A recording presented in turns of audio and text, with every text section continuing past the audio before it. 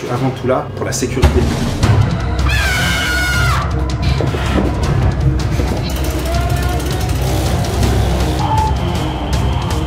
Dépêchez-vous Comme vous pouvez le voir, aujourd'hui, la vidéo ne commence pas tout à fait comme d'habitude. Il n'y a pas de plan fixe, pas de décor cosy, voilà, là clairement j'enfile mes godasses pour partir à l'aventure. On y va.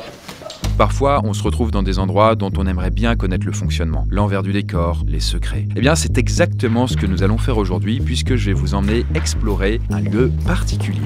Bon, on n'est pas plus préparé que ça parce qu'il y a juste... euh, c'est à côté, il y a quelques centaines de mètres. voire même très particulier dans lequel on fabrique de la peur. Pour ça, nous avons rendez-vous dans un endroit qui s'appelle Dark Experience. C'est une salle d'escape game réputée pour être l'une des plus terrifiantes de Lyon et de la région Rhône-Alpes. Et on ne plaisante pas là-bas, tout est fait pour repousser les limites des joueurs qui s'y euh, aventurent. Je dois vous avouer quand même que j'ai pas l'habitude de me balader comme ça dans la rue. Euh, je suis plus le youtubeur euh, dans, dans son antre, vous voyez bien. Heureusement, la salle n'est vraiment pas loin de nos bureaux, tout ça se passe sur la presqu'île de Lyon et on peut facilement s'y rendre à pied. Je vais traverser comme ça, je suis un peu audacieux. Et là, je peux vous le dire, je suis particulièrement content car je vais non seulement pouvoir observer ce qui se passe vraiment dans les coulisses et en détail, et enfin voir ce qu'il y a derrière un escape game, mais aussi, petit bonus, vous verrez, participer activement dans une session en incarnant l'un des monstres. Mais euh, ça, on verra plus tard.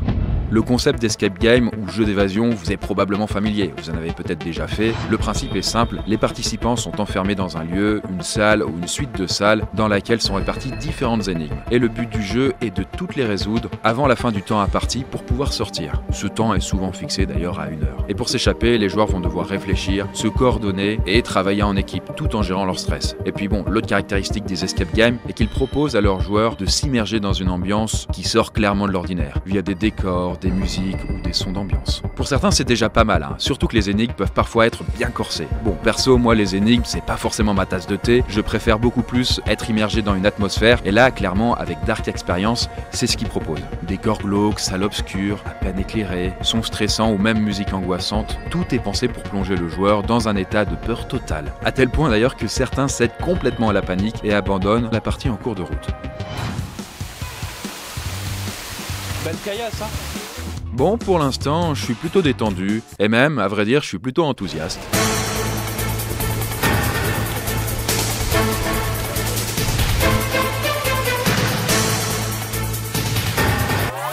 Je suis plus le youtubeur euh, dans, dans son antre, vous voyez bien. Tu mens. Bon, il faut dire que je connais déjà les salles de Dark Experience où je suis déjà allé en tant que joueur, mais la grosse différence aujourd'hui, c'est que je ne vais pas jouer, mais assister à différentes parties depuis les coulisses. Je vais vous emmener découvrir l'envers du décor, observer une partie type et comprendre comment on s'y prend pour pousser les joueurs dans leur dernier retranchement. J'ai acheté des bouteilles d'eau. On n'est jamais trop sûr, on va peut-être transpirer. Et justement, puisqu'on parle d'horreur, j'ai créé une autre chaîne YouTube qui s'appelle Conte Fécond. Voilà, vous pouvez déjà vous abonner même s'il n'y a pas de vidéo. Et au-dessus, je parlerai d'authentiques histoires d'horreur. Et c'est là où j'ai besoin de vous. Si vous avez déjà vécu une histoire inquiétante ou horrifique, dans tous les sens du terme, j'aimerais avec mon équipe pouvoir recueillir votre témoignage. Pour ça, vous avez un petit questionnaire dans la description de la vidéo si vous avez quelque chose d'intéressant à raconter. Donc on vous attend et sur ce, reprenons. La journée nous réserve son lot de surprises et d'imprévus et nous allons rapidement nous rendre compte qu'aucune partie ne se ressemble et que tout peut basculer en fonction du tempérament des joueurs, pour le meilleur comme pour le pire. Nous voilà, nous voilà, nous voilà, nous voici arrivés dans euh, l'accueil de Dark Experience. Et bien voilà, c'est Romain qui m'accueille dans un décor qui plonge directement dans l'ambiance. Bienvenue Bah merci. à Dark Experience. Voici l'entrée, Chris. C'est là où on accueille les joueurs. Ce concept d'angoisse et d'effroi, c'est totalement ce que propose Dark Experience. C'est volontaire qu'il y ait simplement des rondins de bois et qu'on soit pas très à l'aise, puisque je pense que tu l'as vu, l'accueil est pas fait pour que ça soit beau. C'est avant tout de l'immersion. Cet escape game hors du commun a été créé par Karim, qui m'explique ce qu'il a voulu réaliser en créant ce lieu. J'ai l'habitude de dire que Dark Experience c'est pas du tout un escape game parce qu'un escape game par nature, un game master, il est là, il communique avec toi pour t'aider. Alors que là, nos game masters, leur but c'est complètement de te faire craquer. Nous, quand on abandonne ici à Dark Experience, notre but est atteint. Romain est le maître du jeu, le Game Master. En fait, c'est lui qui supervise les parties et qui interagit avec les joueurs s'ils ont besoin d'aide. Et pour ça, il peut directement observer et suivre les parties via une multitude de caméras infrarouges disséminées dans les salles. Waouh Ok. La salle de contrôle avec tous les écrans. La salle de commande, ok. C'est la salle de commande, c'est Alors, là où on gère tout. Il n'y a pas 70 écrans comme du coup dans les films. C'est pas comme dans les films, Mais un- le dit, il y a plein de petits écrans. il y a plein de ça fait- ce qui fait quand même beaucoup de caméras quand même. Sur quel bouton j'appuie pour déclencher le feu nucléaire? Le feu nucléaire, c'est c'est En parlant de salles, eh bien, il y en a deux à Dark Experience. La première s'appelle Amy. Elle tire son nom d'une petite fille assez flippante qui erre dans les couloirs d'un vieux manoir duquel les joueurs vont devoir s'échapper. La seconde salle est baptisée La Créature, et dans ce scénario, les joueurs ont été capturés par un fou furieux qui les séquestre dans sa cabane. euh, dans le jargon, quand on dit la créature est là, Amy est là, ça veut dire que le groupe est au complet, on Ok. va pouvoir les accueillir. Ok. Et du coup là en fait vous accueillez combien de personnes? Alors tout dépend les sessions, ça va jusqu'à 5 en capacité maximale par salle. Là aujourd'hui, je crois que c'est 2 dans la créature et c'est 4 dans Amy. Bien entendu, que ce soit dans une salle ou dans une autre, les joueurs doivent trouver un moyen de s'enfuir. Mais les deux salles proposent une ambiance radicalement différente. Si Amy joue sur la gêne, l'angoisse ou le stress, la créature repose plus sur la terreur pure et une ambiance assez similaire aux films d'horreur de type slasher, dans lesquels les protagonistes sont poursuivis par un tueur psychopathe qui veut littéralement leur peau. Romain m'explique qu'il y a différents rôles à jouer au sein de l'escape game. Il faut accueillir les joueurs, superviser les parties, mais pas que. À Dark Experience, il y a un petit plus, puisque des acteurs animent directement les salles et permettent de donner un peu de piquant supplémentaire au jeu. Aujourd'hui, je vais gérer la créature et Amy. Rachel fera l'actrice et Loïc fera l'acteur de la créature. Tout est fait euh, pour que ça soit assez euh, rythmé et qu'il n'y ait pas de, tu vois, de temps mort ou de problème d'organisation à gérer les retards des clients. Donc non, on a, on a des rôles qui sont bien précis. Mais si moi je dois faire la créature, je ferai la créature. Si moi je dois faire le game master, je ferai le game master. Loïc il peut aussi interchanger. Rachel peut être game master des deux. Comme ça, je peux gérer tous les imprévus en fait. En tant que maître du jeu, Romain va devoir aider les joueurs lors de la partie, s'ils lui demandent de l'aide, des informations ou s'il voit que ces derniers ne parviennent pas à résoudre une énigme. Un peu comme moi quand je joue, hein, voilà. Et pour ça, bah du coup, les joueurs pourront communiquer avec lui en direct via un talkie-walkie. Il faut que l'un d'entre vous retourne dans la salle où il y avait la baignoire et se saisisse de cette grosse pince. Un seul problème, la créature est dans la salle. Ceci dit, Romain est aussi là pour veiller au grain, s'assurer que les règles du jeu sont bien respectées et que les joueurs se comportent bien. Car oui, dans un escape game, et d'autant plus quand il y a un acteur sur place, on ne fait pas ce qu'on veut. Euh, moi, je suis avant tout là, ce qui est très bizarre pour un game master, mais je suis avant tout là pour la sécurité. C'est beaucoup plus ça dans, des salles d'horreur comme euh, la créature et comme Amy, surtout pour Amy, où il y aura une salle, sans trop spoiler, mais il y aura une salle sur le lit, où là, il n'y a pas de barrière de sécurité, et c'est ça qui est fort, dans, notamment dans Dark Experience et dans Amy, c'est que Amy, elle, fait le rôle de game master. C'est qu'elle, elle, elle distille les énigmes, les indices dans son lit ou euh, quand elle intervient en fait. Ce qui fait que moi, ça me permet de me soulager du travail et du coup de me concentrer sur la créature. Et puis pour l'immersion, c'est top. Que Amy donne des indices, c'est beaucoup plus intéressant que moi j'intervienne au Tokiwoki. Ok. Et là du coup ils ont commencé à rentrer dans la créature, j'ai cru voir. Là, on entend la musique. Euh, ils sont en train de regarder la vidéo qui la met en mise en Ah, situation. Et là, bah, la vidéo vient de se terminer. Donc là, logiquement, si tu veux, on peut même y aller. Ils sont en train de mettre les cagoules. Les premières sessions commencent, et ce sont deux joueuses néophytes qui ont choisi de faire la créature. Bon, euh, découvrir les escape games en allant à Dark Experience n'est pas forcément une bonne idée puisque l'immersion est totale et on ne fait pas de traitement de faveur. Et donc, bah, nos deux joueuses commencent la partie en se voyant coiffées d'une cagoule et pousser Manu Militari dans la cabane de la créature.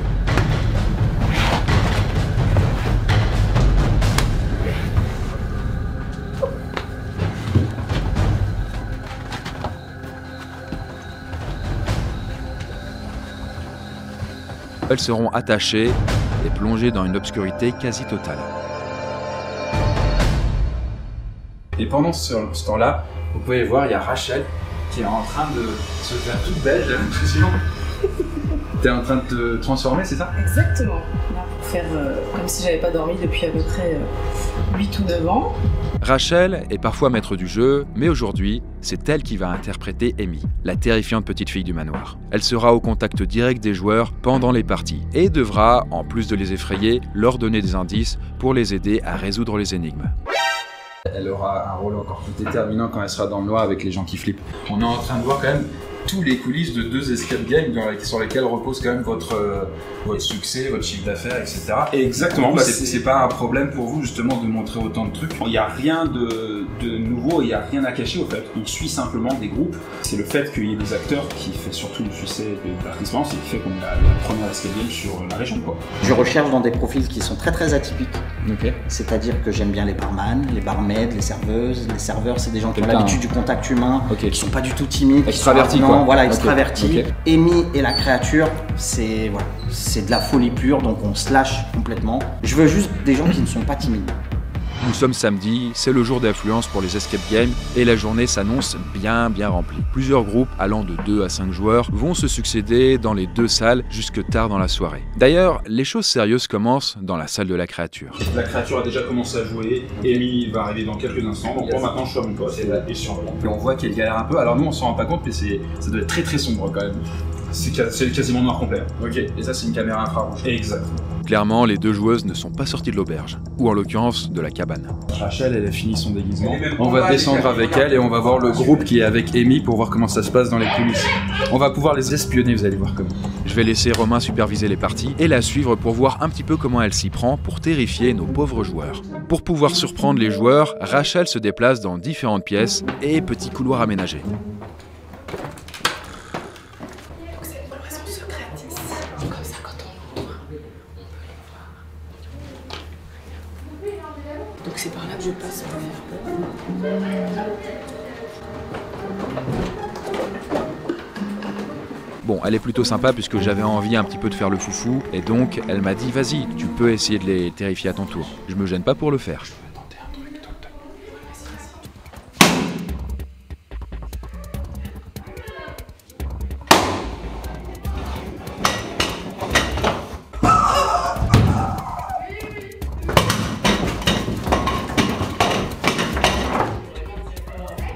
Suis plutôt satisfait de ma prestation. Après, il faut voir si les joueurs, eux, ont eu leur stress qui monte. C'était sympathique, ça va, ça.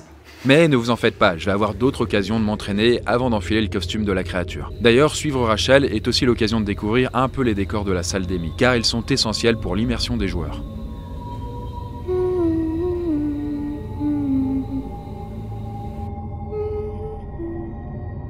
C'est très souvent euh, la configuration de ta salle qui te décide quel thème tu vas faire parce que euh, voilà, tu vas tomber sur des arches, sur de la pierre qui va faire, bah là ça ressemble bien à ça. Sur un concept comme ceci, c'est beaucoup plus facile parce que euh, on a moins d'énigmes et les peurs sont assez connues. Donc on, on essaye d'aller dans de la peur, d'aller dans de la surprise. Les gens s'attendent, ils viennent, ils s'attendent à avoir peur. Et je pense que tu réussis à partir du moment où nous, 90% de nos joueurs descendent en disant Ah oui, c'est bien pire que ce qu'on attend. Avant de descendre, Rachel nous a d'ailleurs expliqué qu'elle s'adaptait à chaque groupe en fonction des expériences et des sensibilités. Elle donnera plus d'indices par exemple à un groupe novice qu'à un groupe expérimenté et pourra aussi cerner les groupes plus ou moins sensibles à la peur pour rendre chaque partie vraiment unique. Et le moins qu'on puisse dire, c'est qu'elle a terrorisé plus d'un joueur.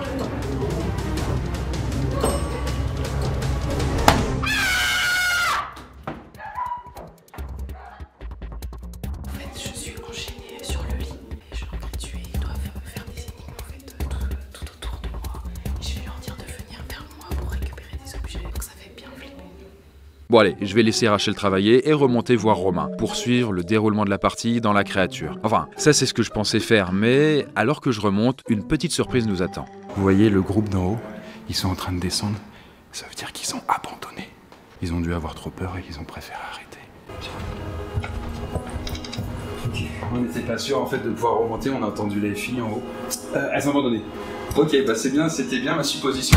Enfin, mon hypothèse. Dès le début, sur le brief, euh, quand on les manipule, on sent très vite que ça va être très compliqué.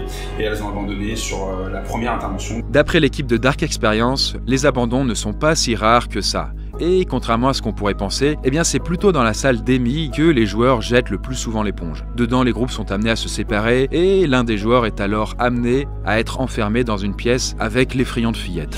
Et c'est à ce moment-là que certains ne le supportent pas et préfèrent abandonner la partie. Ceci dit, ce coup-ci, c'est dans la créature que l'abandon a eu lieu et justement, on va essayer de comprendre pourquoi. C'est pas forcément un plaisir de faire abandonner les gens. C'est bien pour, euh, si tu veux, en termes de communication, en disant attention, ça fait tellement peur qu'il y, a- il y a des éliminations. Mais maintenant, notre job, c'est qu'elles soient contentes, au fait. D'un point de vue purement financier, ces personnages ont joué 3 minutes et elles ont payé.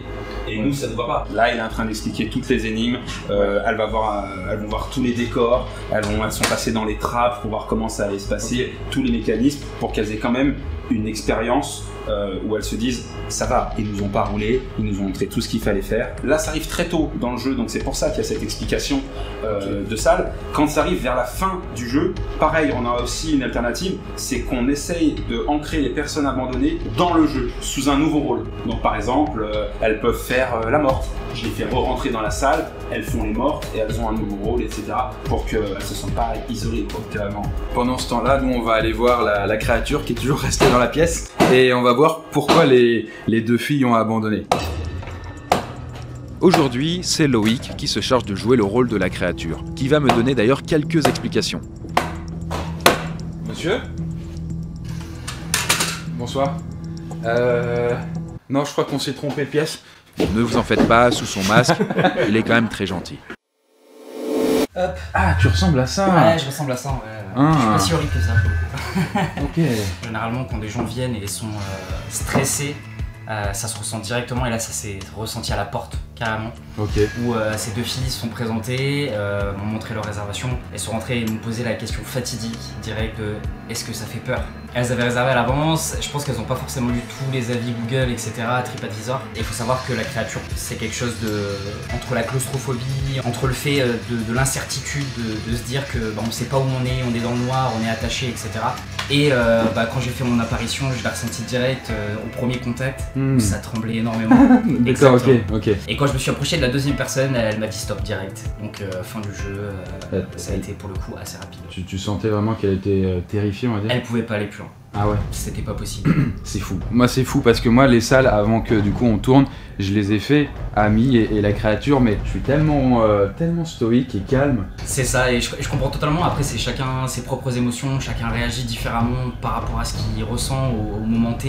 Et, euh, La plupart du temps, elles abandonnent un peu moins vite, les personnes? généralement, ouais. Ouais, ok. Généralement, ça abandonne souvent après la tronçonneuse. Cela dit, rassurez-vous, car même si vous abandonnez au bout de 10 minutes, comme nos deux joueuses débutantes du jour, vous ne serez pas non plus laissé sans explication. Du coup, on va revenir voir Romain pour voir comment ça se passe avec le groupe de, de Amy. De son côté, Romain continue de superviser Amy et la partie se passe bien. Là, on l'avait vu, si, si tu te souviens bien, on était passé par là, nous, et, on moi j'avais gratté à cette porte-là. Et là, il y a, il y a Rachel, donc en mode Amy.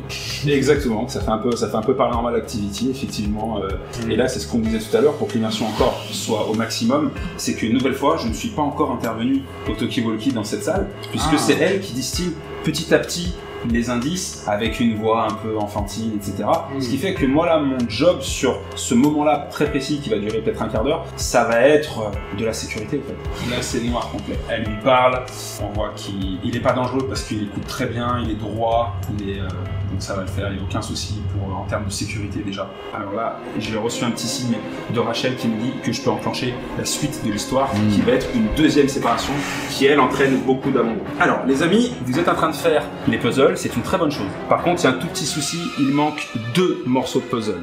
La personne qui ira chercher seule ces deux morceaux de puzzle est la personne à qui Amy a donné la peluche. Je pense que ça va aller assez vite, parce qu'en fait, ils ont vraiment envie de jouer, ils sont vraiment euh, dans le jeu et pas dans la réelle peur.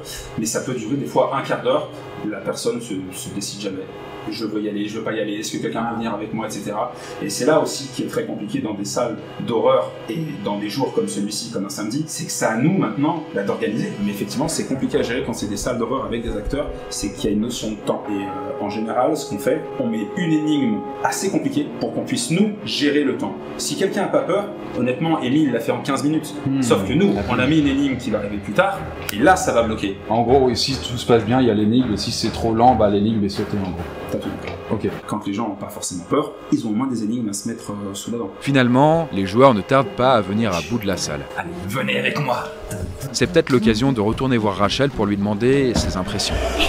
Ah, elle est là, pardon, j'avais pas vu. Alors, ça s'est bien passé cette séance? Du coup, oui, la session s'est super bien passée.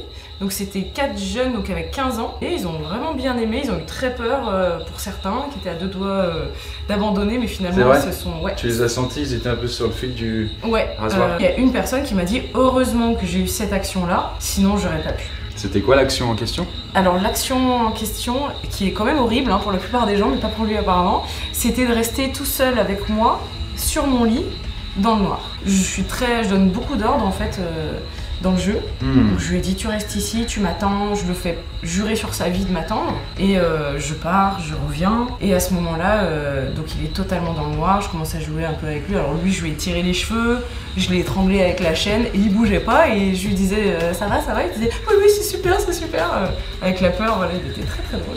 D'ailleurs, en parlant d'anecdotes, Karim, le créateur de l'Escape Game, en a pas mal en réserve. Est-ce que t'as des anecdotes croustillantes par rapport aux clients que t'as vus ou des trucs comme ça?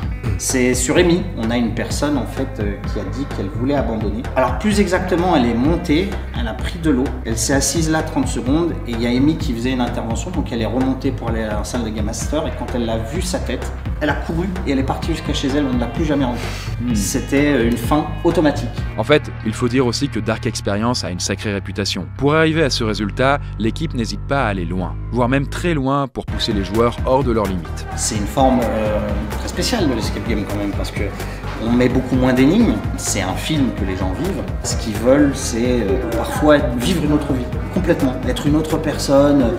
Et, je me suis dit, si pendant une heure on peut vous proposer d'être dans un scénario, d'être un, flic, d'être si ça et de vivre pendant une heure une aventure exceptionnelle, voilà. C'est quand, même, euh, quand même marrant que les gens euh, viennent pour justement subir des, expériences parfois traumatiques quoi. On l'apprend en fait avec le temps, c'est-à-dire qu'au début, dans les tests, on fait des centaines de tests pour essayer de jauger la peur, la difficulté du jeu. Et au fait, tu te dis au début, on va y aller doucement, en bien entendu respectant les règles, parce que les gens sont pas habitués à faire des salles avec des acteurs. Et en fait, les gens, ils veulent beaucoup plus. C'est grâce à eux qu'on devient pire en pire, en fait. Ouais. Pour pousser encore plus loin l'expérience, Romain nous explique que, lorsque c'est possible, les acteurs essaient de saisir le prénom d'un ou plusieurs joueurs pour l'interpeller directement dans une partie et le surprendre. Et si vous voulez offrir une session à des amis, eh bien vous pouvez par exemple fournir à l'avance une foule de petits détails qui seront utilisés pendant la partie pour prendre les joueurs au dépourvu. C'est important de savoir comment il s'appelle Ah oui, c'est très très bon. C'est des scènes qui sont très marrantes où je peux hurler leur nom, euh, leur prénom. Ça personnalise carrément l'aventure en fait. euh, Et comment vous faites pour obtenir ces noms-là bah, soit en, en écoutant, Ouais, soit dans la réservation. Et comme t'es dans une salle un peu avec des esprits, des trucs comme ça, tu sais, tu te dis putain, mais comment c'est mon prénom? Les deux premières sessions se sont terminées et de nouvelles vont commencer. D'ailleurs, bah, les joueurs suivants sont déjà là. Pour la prochaine partie, ce sont Loïc et son costume que nous allons devoir suivre dans la salle de la créature. En parlant de costume, Karim va nous en apprendre un peu plus sur celui de la créature, notamment sur le fameux masque qu'elle porte. Le masque, vous l'avez fait vous- vous-même? Alors on l'a fait faire aux États-Unis. On a euh, quelqu'un qui travaille avec nous. c'est un- ça c'est vraiment le genre de truc qui est très très cher en France. Pour info, par exemple, un faux corps humain complet, ça coûte 16 000 euros en France. Très très cher, mais vraiment très très réaliste. Aux États-Unis, on a deux trois fournisseurs qui, euh, par exemple, sur un corps euh, peuvent, on peut l'avoir à 3 ou 4 000. Ça c'est un masque qui coûte à peu près 200 euros, qui est fait entièrement à la main, qui est de qualité supérieure. Cousu à la main, avec de la peau humaine comme il disait. Bien sûr, sinon. Regardez le petit visage, c'est quand même bien le souci du détail. Ouais.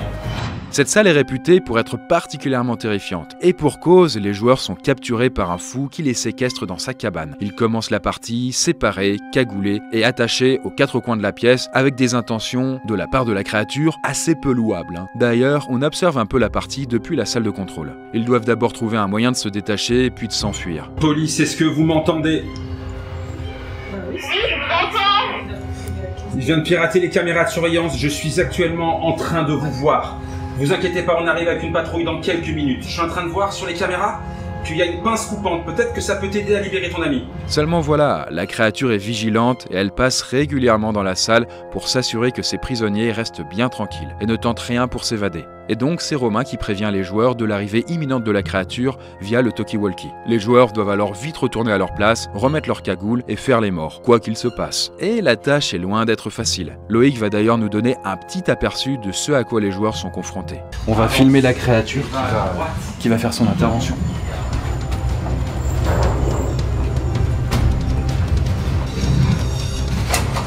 Du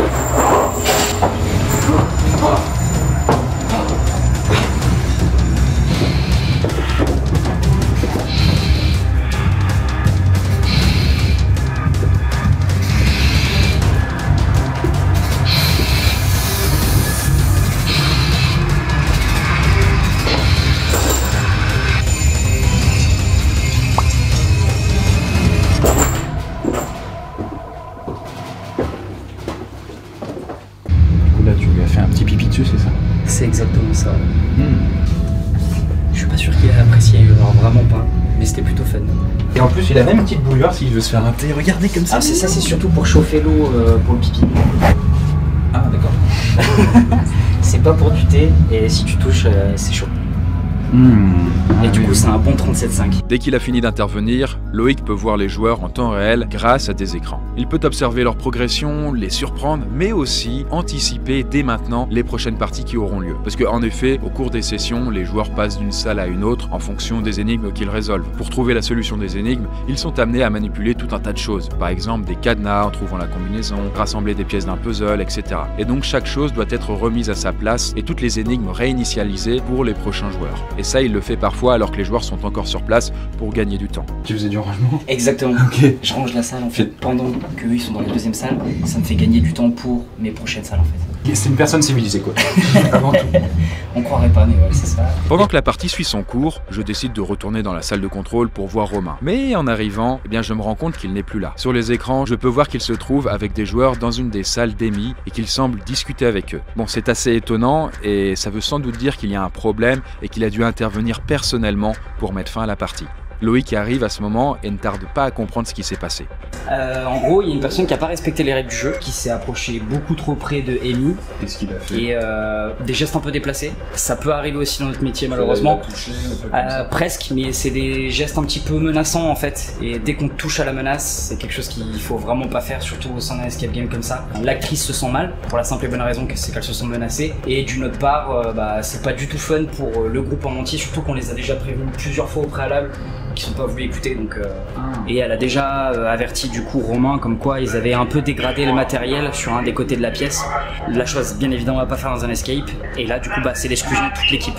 c'est fin du jeu pour eux. D'où l'intérêt d'avoir aussi le Game Master pour Exactement. que l'acteur il puisse pas gérer tout tout seul. Exactement. Je suis intervenu pour arrêter la session. La principale euh, chose qui nous nous importe, c'est avant tout la sécurité des acteurs. Et là, elle m'a indiqué avec un signe qui est très simple à la caméra, comme ça il n'y a pas besoin de discussion. Ça veut m'indiquer qu'elle n'est plus du tout euh, en confiance et du coup elle veut absolument stopper la session, elle veut pas continuer. Donc à partir de ce moment-là, je suis intervenu. C'est simple, il n'a pas respecté les règles, je lui ai donné deux avertissements.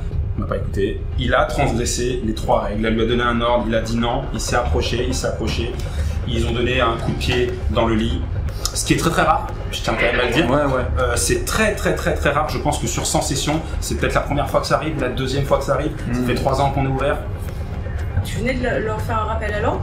Au talkie, tu leur as dit attention, nan, et il a dit euh, Je sais pas compris ce qu'il m'a dit, on s'en fiche. Ah d'accord, ok. Euh, ouais. J'avais le cœur qui battait un peu vite, hein, parce que je Ah me disais, mais il faut les gérer les deux, ils m'écoutent pas. Il y en avait deux en fait qui étaient. Ouais, il y a une fille qui a donné un coup aussi pied, sur, ouais. euh, sur le lit. Mais alors, vous l'avez peut-être pas vu à la caméra, vu l'angle de la caméra. Ouais, il y avait un angle Et en fait, je jetais les chaînes en mode euh, réellement sur eux, histoire qu'ils comprennent qu'il faut. euh, Enfin, qu'ils se Il faut avoir une qu'il distance, Qu'il y ait etc. la distance, mais euh, non, Et comment ça se passe de ton côté avec les deux, euh, le couple, c'est ça? Ouais, bah pour l'instant ça se passe bien, ils galèrent un petit peu sur une énigme, mais bon du coup je leur donne un petit coup de main. Ils sont plutôt agréables à faire jouer, d'ailleurs ils viennent de déverrouiller le, le frigo. Ah. Bravo, regardez, regardez, vous avez ouvert le frigo. Et du coup là je vais devoir intervenir, du coup c'est mon collègue de reprendre. Ce coup-ci, on ne va pas pouvoir suivre Loïc sous peine de nuire à la partie, parce que tout simplement les joueurs nous verraient avec la caméra, c'est pas, voilà, c'est pas ouf. Mais on va tout de même observer les choses depuis les écrans de contrôle. Les joueurs sont à ce moment dans la dernière phase du jeu. Ils ont réussi à se libérer et à trouver la sortie sans se faire surprendre par la créature. Bon, c'est bien, mais ils doivent faire face à un dernier obstacle. La porte est fermée par un cadenas et le seul moyen de s'en débarrasser, c'est de le briser. Pour ça, l'un d'entre eux doit s'emparer d'un coupe-boulon et le couper. Mais cependant, il y a un petit souci. Il faut que l'un d'entre vous retourne dans la salle où il y avait la baignoire et se saisisse de cette grosse pince. Un seul problème, la créature est dans la salle. Donc là, il y va tout en discrétion. Hop, on va tout de suite Il passe par là, il doit prendre ça et repartir. Ah bah il envoie sa petite tête. Exact. Et ce joueur n'a le droit qu'à une chance, parce que s'il se fait prendre, il a intérêt à courir vite car la créature le poursuivra. Même si c'est la dernière épreuve de la salle et que la tâche est simple en apparence, il n'est pas rare que certains joueurs hésitent pendant de longues, longues minutes, voire même des dizaines de minutes avant de se lancer. Et il y en a même d'autres qui abandonnent tout simplement la partie à ce moment. Mais en fait, ils se disent, mais il va me voir. Exactement, pour eux, c'est. En fait, c'est un peu comme un jeu vidéo Ouais. où il y a le garde et tu fais de l'infiltration. Et eux, Ouais, ils sont ouais. vraiment dedans en fait. Voilà, et elle va y aller en rampant comme comme c'était prévu. Il y a déjà eu des abandons. hein. Il y a déjà eu des abandons, ils sont à 10 secondes de la fin. hein. Ils ont Ah ouais. juste à prendre ça et, et c'est fini. Elle fait diversion comme dans les jeux vidéo. Elle vient de jeter un fer à cheval. Elle a jeté quelque chose pour le distraire. Bon, on y va. bien. Un jeu. Il active la tronçonneuse. Cassez le cadenas Cassez le cadenas Police Dépêchez-vous Ça y est, ça y est, il est arrivé. Là, ils vont sortir. J'observe attentivement ce qui se passe dans la salle puisque pendant la prochaine session, c'est moi qui vais devoir jouer le rôle de la créature. Et euh, je dois bien l'avouer, je suis quand même un peu impatient. La Karen vient d'arriver et moi, je vais faire la créature. Absolument. Je vais du coup euh, enfiler mon, mon déguisement de, de star. Exactement. C'est ça, bon, euh, il s'agit d'une salopette et puis du coup d'un masque. masque de psychopathe, quoi. Exactement. Donc c'est là-bas que ça va se passer, venez avec moi. Je crois que c'est ça que je vais enfiler. Bon, ça va aller vite, moi je vais garder, mon, je vais garder ma chemise pour que ce soit un peu moins, moins embêtant. Et comment? Mais, mais, putain, Attends, je comprends rien du tout. J'ai l'impression d'être con. Je crois que c'est comme ça. Oh putain, c'est pas du tout dans le bon truc. Ok. One hour later. Je sais pas si je l'ai bien mis du coup, Karim. Non, tu l'as mis à l'envers. Putain, c'est vrai. Bon, ça va aller vite, moi je vais garder ma chemise pour que ce soit un peu moins, moins embêtant. Pendant que je peaufine mon déguisement, Karim m'en dit plus sur son rôle. Donc toi, Karim, c'est toi le, le boss. Exactement. C'est toi qui conçoit les scénarios. T'avais créé Dark, Dark Experience, Voilà. c'est ça J'ai créé Dark Experience à la suite d'une room d'horreur qu'on avait fait. Où, euh, Ok. on avait eu des retours un peu mitigés parce qu'on était entre l'escape et l'horreur. On a eu euh, beaucoup d'insatisfaction parce qu'on s'est rendu compte que les gens, beaucoup de gens venaient uniquement pour avoir peur.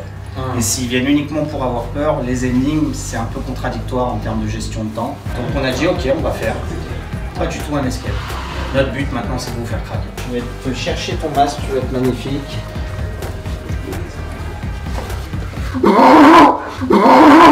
Ah bah, il, faut, il va falloir que je trouve mon cri.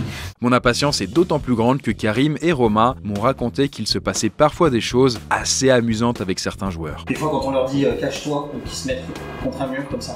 Ah non tu dis, Ah oui, oui, oui, tu deviens pas transparent. C'est, voilà. C'est, donc voilà, c'est pas du tout logique. quoi. Heureusement, Romain et Karim me donnent quelques petits conseils avant que je me plonge dans le grand bain. Il faut y aller crescendo dans la peur, chauffer un peu les joueurs en criant, en tapant sur les portes pour les surprendre et faire monter la tension. Évite juste de parler, ça, va, ça désacralise un peu le délire. Ouais, bien sûr. S'ils te font rire, euh, tu peux rire, rire fort, mais voilà, faut un rire de fou. Non, mais je le fais moi en fait, naturellement, euh, ça me fait du coup pour, pour rigoler, donc je me suis dit, c'est le rôle qu'il faut que je teste. Exactement. Eux, ils sont très friands des escape games. Tu sais, ils aiment avoir peur. Faut tout de suite monter l'adrénaline très haut pour que ça redescende plus après. Il ne faut pas non plus hésiter à observer les joueurs et tenter de cerner leur sensibilité pour s'adapter à chaque groupe et le terroriser au maximum. Non, c'est jamais trop, Chris. Hein. Y aller. hein. Quand Romain voit que les joueurs sont à point, eh bien il les fait cuire avec un peu de sel et puis de ah non pardon non non, blague à part, il les prévient que la créature arrive et donc là logiquement c'est à moi de rentrer en scène.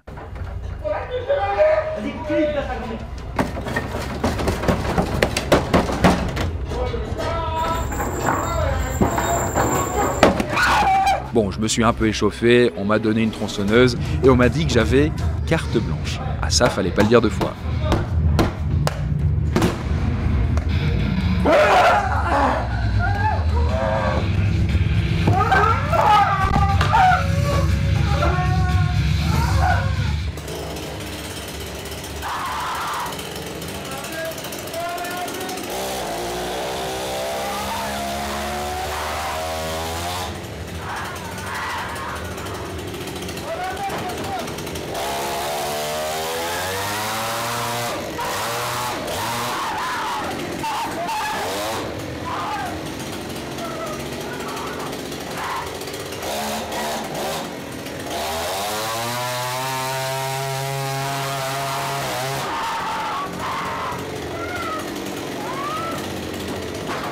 Bon, naturellement, je n'ai pris aucun plaisir à terroriser ces pauvres joueurs. Euh, non, je déconne, c'était vraiment très jouissif.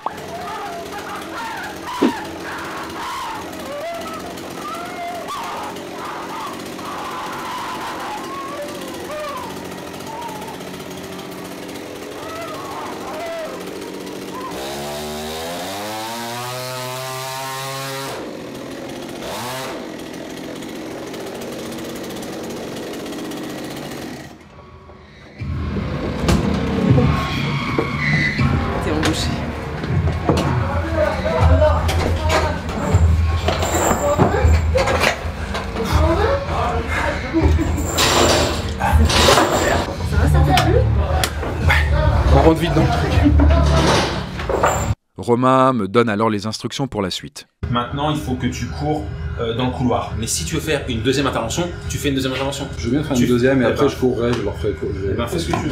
Tu Ok. le dis quand j'annonce et tu fais ce que tu veux. Sans me faire prier, j'y retourne. Voilà, ne me jugez pas.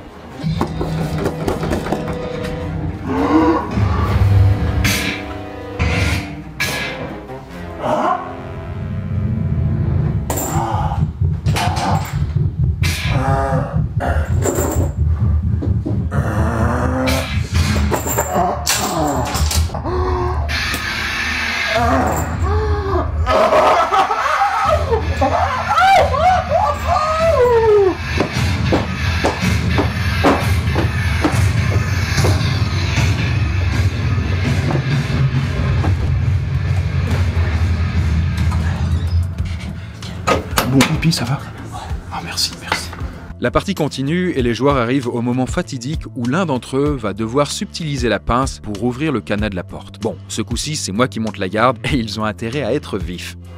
Bien sûr, la caméra risque de complètement gâcher l'expérience, donc on peut pas filmer, mais vous allez quand même pouvoir suivre mes exploits depuis la salle de contrôle.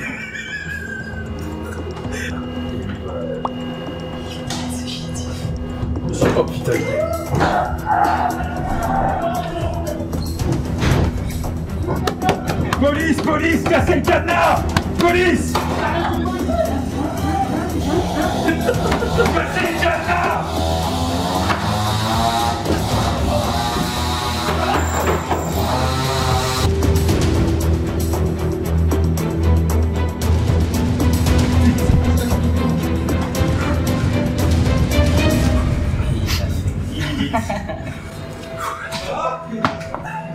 C'est jouissif, hein Tu es une très bonne. euh,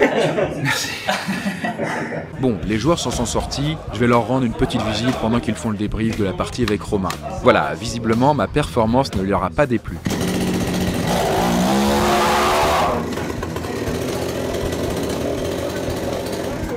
Ouais, je retire le masque. Vous êtes sûr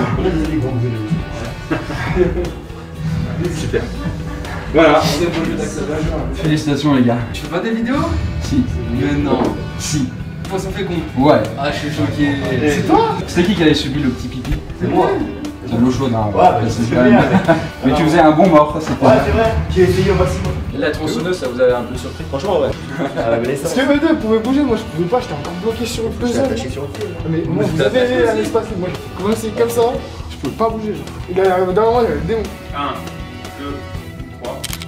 1, 2, 3. On fait une petite photo, puis je range le costume pour faire un débrief avec Karim et lui poser quelques questions. Je suis un peu épuisé par le par l'acting encore, mais. mais Ça t'a plu déjà? Ouais, c'était vraiment intéressant de, de pouvoir rentrer dans, dans la tête de finalement quelque chose que je suis déjà le soir, mais que les gens ne voient pas. Comment ça t'était venu en fait cette idée euh, de bah, d'escape game horrifique avec des acteurs? Alors, euh, c'est venu parce que hum, il y a quelques rooms qui sont sortis dans le domaine de l'horreur. Donc, on en a lancé une dans notre escape traditionnel de, de Lyon. Et on a eu des retours un peu mitigés dans le sens où euh, on avait beaucoup de joueurs en fait qui, on se rendait compte, qui venaient uniquement pour avoir peur.